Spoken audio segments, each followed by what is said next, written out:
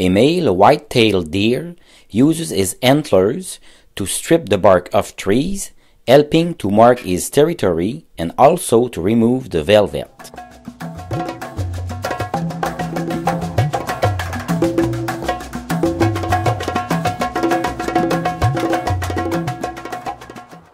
Who made this mound of mud and plants in water?